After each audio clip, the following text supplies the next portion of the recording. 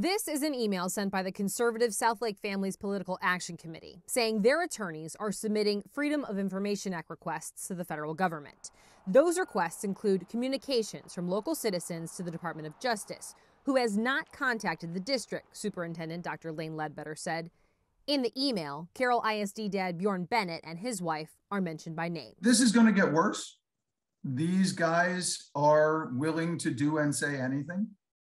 But what can we do except stand up for the minority kids, the special needs kids in our town? The email by the Southlake Families PAC also encourages donations, saying, quote, the more you give, the more we can fight back. The fundraiser this morning is not surprising but it is kind of a next step up in uh, escalation. We don't think the federal government should come in and try to tell us how to run our school district. Tim O'Hare is the founder of the Southlake Families PAC, but did not write this email. No, I didn't authorize the email. But if there are links to where these people have called out people, uh, you know what? I mean, you, you, you play with fire, you get burned. He now serves as an advisor to the group, as he's currently running for Tarrant County Judge. It is a remarkable place uh, it is getting some incredible bad press.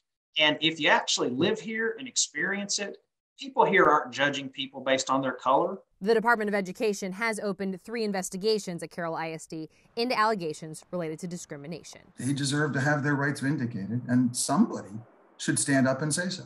If there's something systemically wrong with the administration, uh, well, certainly we would want to know that. In Southlake, I'm Ariel Plasencia.